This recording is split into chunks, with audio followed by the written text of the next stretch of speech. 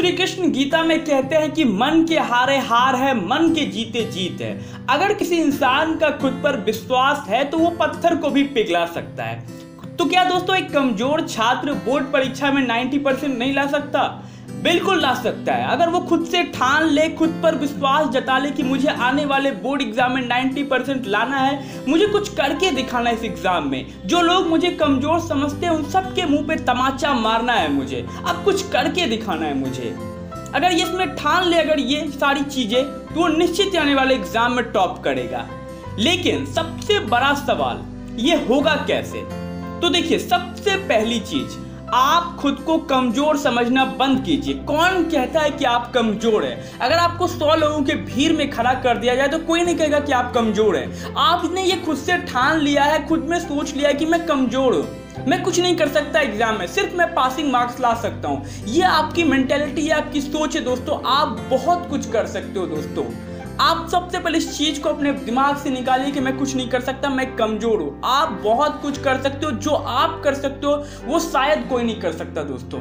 इसलिए सबसे पहले अपने माइंड को पॉजिटिव कीजिए, रिफ्रेश कीजिए और चार्ज अप रहिए कि मैं कुछ कर सकता हूँ। अब देखिए दूसरी चीज़, ये तो हो गई आपको कि आपको कॉन्फिडेंस दिलाने वाले।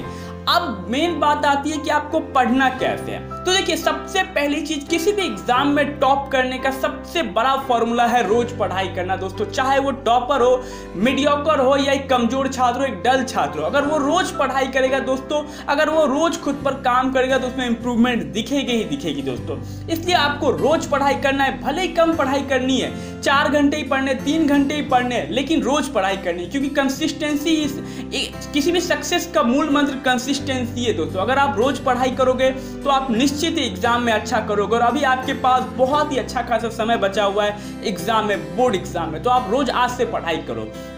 अगली बात आपको एक अच्छा टाइम टेबल बनाना है, छोटा टाइम टेबल बनाना है, लेकिन इफ़ेक्टिव टाइम टेबल बनाना है। क्योंकि देखिए टाइम टेबल के होने से क्या होगा कि आपकी पढ़ाई एक तरह रिदम में रहेगी। आपको पता रहेगा कि मुझे इस टाइम में ये सब्जेक्ट पढ़ना है तो ऑटोमेटिक आप पढ़ने के लिए बैठ जाओगे, इस टाइम में ये सब्जेक्ट पढ़ना है, इस टाइम में ये सब्जेक्ट पढ़ना है। तो आप एक छोटा और इफ़ेक्टिव टाइम टेबल बनाओ। टाइम टेबल के होने से आप रेगुलरिटी में रहोगे, आप निश्चित ही पढ़ाई करने के लिए बैठोगे हर रोज।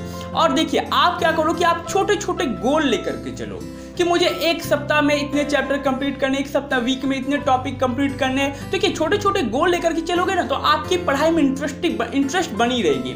आपको लगेगा कि नहीं मुझे यार एक वीक में इतना कंप्लीट करना है तो मैं किसी तरह से पढ़ने बैठोगे आप। आप प्रोकाशनेट नहीं करोगे। अगर आपके पास कोई लक्ष्य होगा छोटा छोटा गोल ही आपको बड़े गोल तक पहुंचाती है दोस्तों।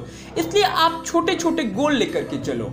अब देखिए, अगली चीज़ क्या है कि आपको एनसीईआरटी पे फोकस करना है। क्योंकि दोस्तों, देखिए एनसीईआरटी एक ऐसी बुक है जो आपको एग्ज़ाम में सक्सेस दिला सकती है। मैं ये बार बार कह रहा हूँ, फिर से आज कह रहा हूँ कि एनसीईआरटी से बाहर एक भी क्वेश्चन नहीं आने वाला है बोर्ड बोर्ड एग्ज़ाम में। आप चाहे पिछले पाँच साल के पेपर उठा करके देखना एक आध दो क्वेश्चन ही आपके एनसीईआरटी से बाहर पूछे होंगे। बाकी सारे क्वेश्चन एनसीईआरटी से आते हैं मतलब जो आपके लोकल बुक है गवर्नमेंट बुक है, उसी से सारे क्वेश्चन आते हैं। इसलिए आप जितना हो सके एनसीआरटी पे आप फोकस करें दोस्तों। और अगली चीज़ और सबसे इंपॉर्टेंट चीज़ दोस्तों टाइम टू टाइम रिवीजन करना दोस्तों। इन चीज़ों, इस चीज़ में बहुत ज़्यादा लैक करते हैं स्टूडेंट दोस्तों, कि उनमें रिवीजन कर नहीं दिखती है दोस्तों। इसलिए क्या करना है आपको कि आपको टाइम टू टाइम रिवीजन करना है। रिवीजन सबसे बड़ा मूल मंत्र एग्ज़ाम में सक्सेस करने का दोस्तों।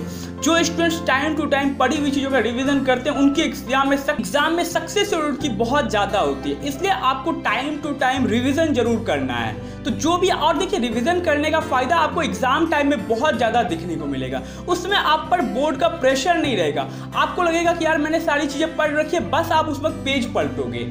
इसलिए आपको इस वक्त भी इस रिविजन जैसे जैसे आप पढ़ते जाओ आगे, आपको रिविजन स्टार्ट करते चलना है। दोस्तों, अगर आप इन सब चीज़ों का ख्याल रखते हो तो आप आने वाले बोर्ड एग्ज़ाम में बहुत अच्छा कर सकते हो। आपको आने वाले एग्ज़ाम में बोर्ड अच्छा करने से कोई भी नहीं रोक सकता दोस्तों। तो अगर आपको वीडियो अच्छी लगी हो तो वीडियो को लाइक ज़रूर कर देना और चैनल को प्लीज़ सब्सक्राइब कर ले और बेल आइकन को ज़रूर प्रेस कर लेना ताकि जब भी हमारी कोई अगली वीडियो आए तो उसका नोटिफिकेशन आपको जल्द से जल्द मिले।